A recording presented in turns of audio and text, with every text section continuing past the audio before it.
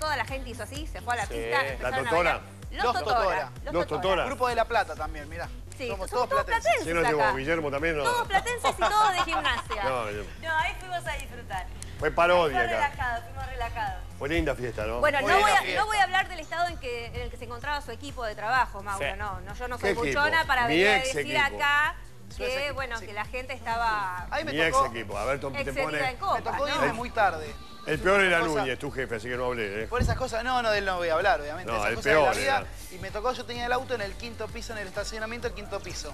Y cuando salgo, vi una camioneta negra. Quinto piso. Sí, eh, Sí. porque estaba todo lleno, a full. Yo Una camioneta taxi, negra con un empleado, un empleado del canal, durmiendo así. Hombre de bigotes él, asistente. A ver, acá no hay ninguno de bigote, no sé qué. No, no, asi- asistente. Tened cuidado con lo que decís, ¿eh? Ah, no, Cansado. me imagino. Me imagino de Así quién estábamos estaba- hablando. Destruido. Sí, ¿Quién? que estuvo también Porque baila- bailó toda la noche. bailando con ¿Quién una naricita de payaso eh, brillante en, en la Con- cabeza. Y, y ¿Quién con lucecita, Marcelo Requejo. El señor Requejo. El señor Requejo. ¿Se quedó dormido en el auto? Se ¿Qué quedó- dormido del auto? Una institución, Raquel. ¿Pero cuánta gente había en esta fiesta? No, era, 500 estábamos todos. personas, 500 ¿Cuántas? personas. 500. Ah, mierda. ¿Cuándo fue esta fiesta?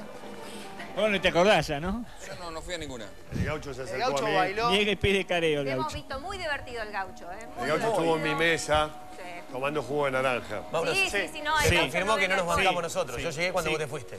Se No, confirmó eso. eso se no. Te digo la verdad, hice un gran esfuerzo porque me gustaba la fiesta, pero estaba liquidado, yo no entendía lo que me decían.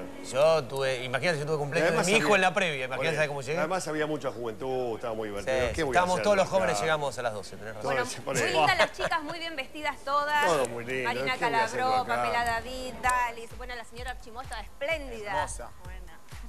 Señor Marín, ¿qué anunció usted ahí? ¿Anunció algún evento futuro? Sí, anuncié, yo tengo el día 3 y 4 de enero en Punta del Este y en Junín, Opa. la despedida de Andy Roddick del tenis con